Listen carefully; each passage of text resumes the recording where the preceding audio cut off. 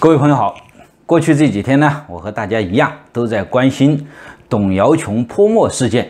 就在几天以前，一个在上海的湖南籍的女孩子董瑶琼，她在呀上海海航大厦门口一幅巨大的习近平的画像上面泼了墨，这一举动啊。可谓是石破天惊，在海内外引起了巨大的反响啊！一方面呢是中共非常的紧张，很快呀就抓捕了许耀琼，现在呢还没有音信；另外一方面呢是国内外的广大的网友纷纷对这一举动啊表示支持、赞赏，甚至呢很多人都做出了效法的举动啊，都自己啊到处去找这个习近平的画像，在上面泼墨。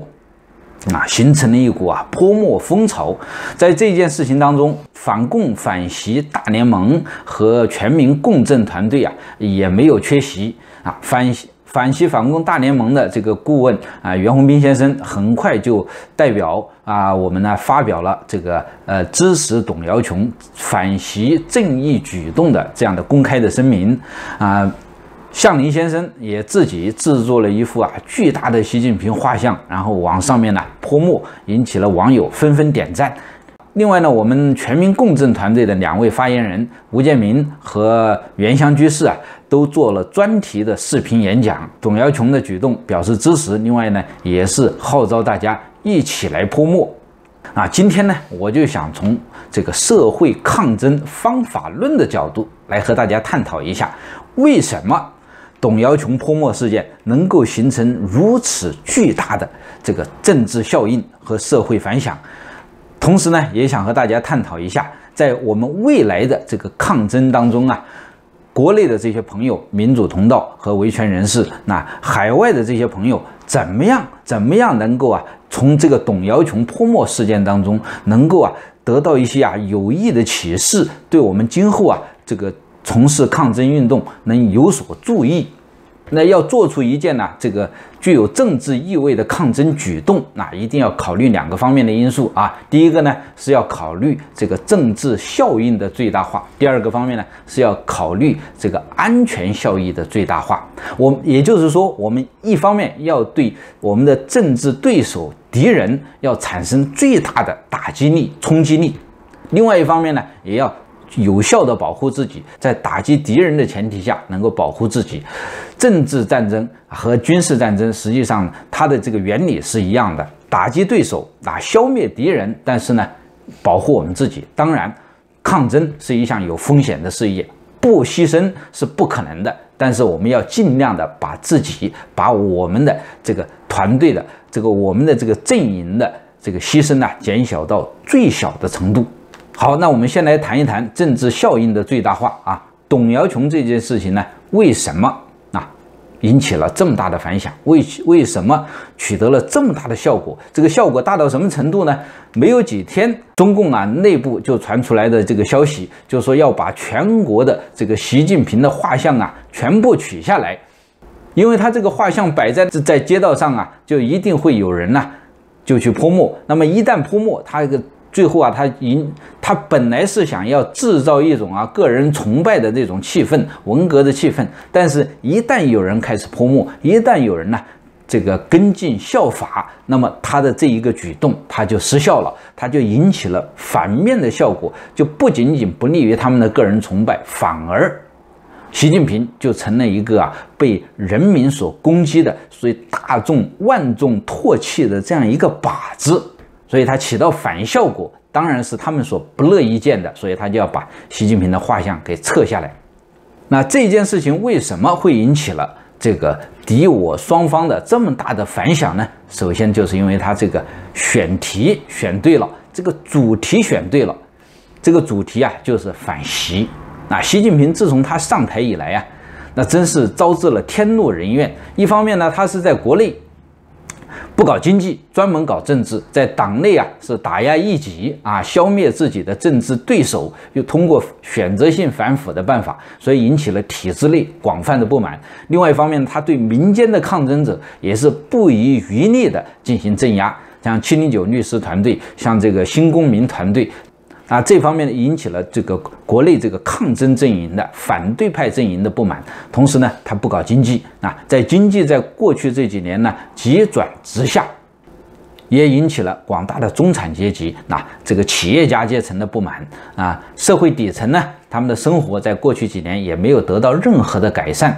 那反腐就对他们来讲，跟自己的利益没有任何的关系。是这个反习现在已经成了一个中国的全民共识。那么在国际上面，那习近平也抛弃了过去这个中共的韬光养晦的政策。一方面呢是大傻逼，通过大量的金钱渗透西方社会的政界和商界。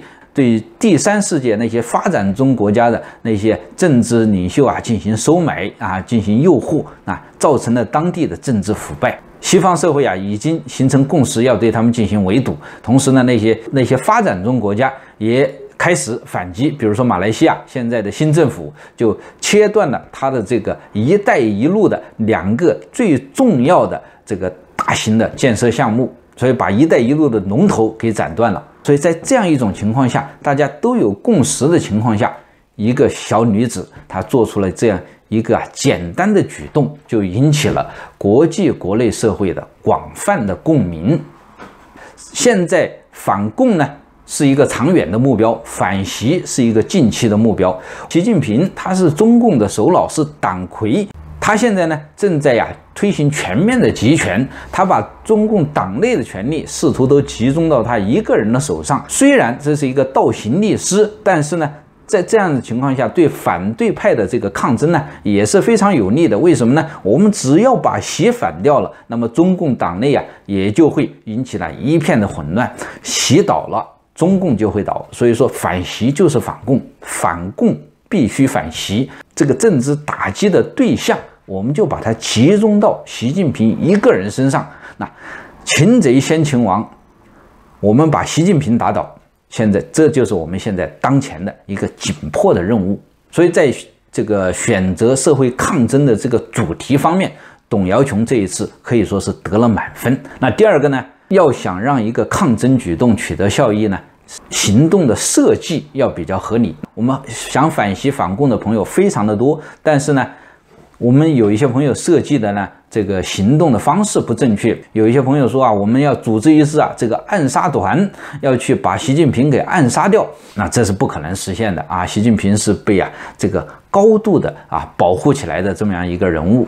不要说我们普通的抗争人士，就是在其他国家、其他政权、那其他政治实体。也没有办法完成这么一个非常艰巨的任务啊！还有一些朋友说啊，我们要组织一支革命军，这个啊就是远水解不了近渴，现在呀也没有办法完成。我们的抗争举动一定要那以我们现有的资源和现有的条件为基础，在这个资源和条件基础上啊，我们能够做出有效的举动，那才算数。否则的话，那就是空想。这个行动的设计呢，同时还要有戏剧性，还要有张力。那比如说像这次董瑶琼，他这个在泼墨之前，他发表了一通啊简短的演讲，告诉他泼墨为什么要泼，让大家知道他做这件事情的动机。那这同时在网上发布，广泛的流传。这就非常有效。如果仅仅是泼墨，大家都不知道你是在这个到底要达到一个具体的什么样的目标，那这就给了一个很好的机会啊，让中共去抹黑他。但是如果他把自己行动的意愿表达得很清楚，而且呢，让他在网上面呢广为流传，那么这个时候这就是一个啊非常有效的一个政治攻击性的举动。那讲到这个行动的设计啊，这次董瑶琼。事件当中啊，有一个人物啊，就是华勇，他这个对董瑶琼的支持力度也非常大。前几天呢，因为采访董瑶琼的父亲呢，啊，也被抓捕了。那这个华勇呢，他也是一位啊社会抗争人士，在去年年底、今年年初的时候啊，在北京啊清理低端人口的这个运动当中啊，华勇的表现也是啊非常的突出。那他是呢。把当时清理低端人口这个现场，他录了像，在这个网上面呢传播。当然了，他就引起了北京警方的这个高度不满，就想抓捕他。华勇呢，当时他就开始逃亡，一面逃亡呢，一面直播。一个简单的举动啊，就产生了一个戏剧性，大家就像追电视连续剧一样的关注华勇。那所以华勇那一段时间呢，他的这个关注度非常高。同时呢，通过这种行动，也把这个北京清理低端人口的这样一项啊暴政曝光在大众的面前，让大众对这一整个的这一件事情呢有更全面的了解。华勇的这个设计也是非常有效的。很可惜的是呢，这个。这一次的董瑶琼事件呢，在这一方面，他如果是事先跟华勇有商量的话，那么可能会取得更好的效果。他这个行动啊，只持续了很简短的一段时间。但是他如果是跟华勇上次一样啊，也开始逃亡，一面逃亡一面直播，那么一面呢呼吁全国各地的网友来对他进行支持，来帮助他逃亡，那么这就形成了一个全民。这个效应形成了一个全民都来，所有的抗争人士都来参与的这样的一个抗争事件，从一个个人的抗争演变为一个全民的抗争，那个效果就会更好。有一些朋友是有团队的，这样的一些朋友在设计。未来的这个抗争行动的当中，也一定要考虑到团队的因素啊！我现在给大家讲一个台湾民主运动当中啊一个很经典的一个案例啊，是在八十年代台湾民主的运动啊正是在如火如荼准备破局的这样的一种情况下啊，当时呢有一位啊这个海外的台湾的留学生。他呢是被台湾当局啊这个禁止入境的，但是他想了一个办法，偷偷的入境了。但是入境之后呢，台湾当局知道了，就对他进行通缉。那有一次呢，这个党外人士聚会的时候，他就来到了那个现场。国民党啊这个当局啊知道了他到现场的消息以后，派出了大批的军警，把整个的现场都给包围了，就准备啊对他进行瓮中捉鳖。郭背红啊，在当时的现场发表了一通演讲，激情四射的演讲引起了全场的轰动。那演讲之后，当他要出去的时候，那外面是警警察层层包围，他怎么样出得去呢？这个时候啊，他的这个团队，这个团队里面有一位重要的人物，也是台湾的一个职业的社会运动的这个领袖，叫做简西街。这个人呢，我在台湾的时候曾经见过，非常非常有创意的这样的一个社运人士。他在这个开会之前要求大家一人戴一个面具啊。当这个郭背红演讲结束的时候，简西街就把这个会场的灯啊就全部给关掉了啊，会场一片漆黑。同时，他要求大家赶紧把面具戴上。这个时候，会场呢好几千几万人呢，全部都戴上了面具啊。然后他再把灯打开的时候，所有的人啊都是戴着同样的面具。这个时候，外面的军警呢就根本分不清到底谁是郭背红。这个时候，他告诉大家：“我们现在呀，从各个门一起出去。”那就把外面的军警呢就给冲散了。大家都戴着面具，军警不知道抓谁。啊，这个时候，郭背红啊就顺利的在大家的掩护下逃离了现场。这件事啊。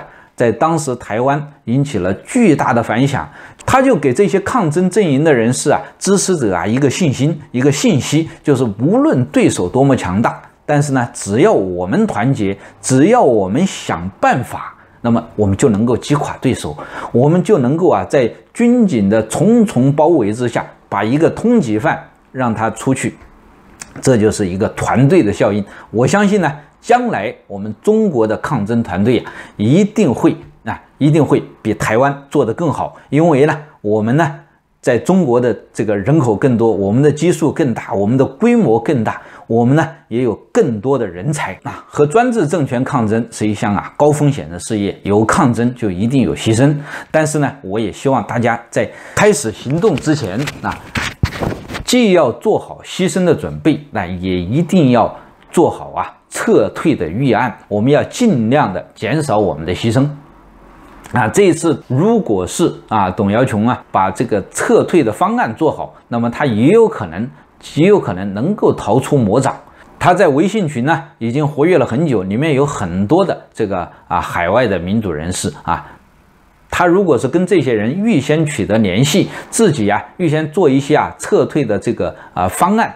比如说逃到其他的国家，这个西方国家，美国、加拿大或者是欧洲，或者是逃不去的话，至少是逃到泰国、到台湾都有可能呢。免于被抓捕，而且呢，在整个的这个逃亡过程呢，它本身呃也会引起大家的高度关注，让这个事件呢能够持续的发酵一段更长的时间，所以是一定要有一个撤退的预案。第二个呢是采取的这个手段呢一定要和平。那有一些朋友呢，抗争的朋友，他们采想采取这个武装暴动的这种手段，这种手段本身是增加了这个行动的风险。那。